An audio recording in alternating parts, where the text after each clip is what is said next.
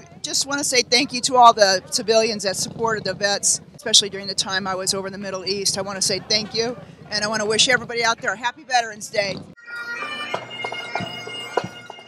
It's the first time I'm actually participating in the in the parade.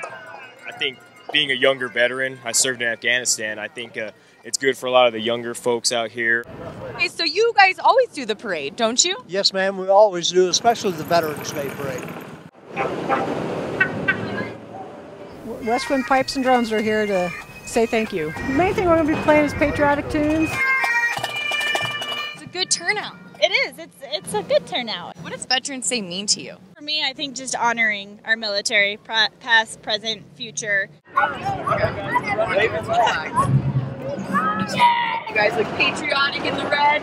Thank you. Oh, I love our troops and all they do for us, and being part of the parade and leading our marching band um, just makes me feel like I'm honoring them. I'm Ayla Quinn with Four Corners at TV.com wishing you a happy Veterans Day.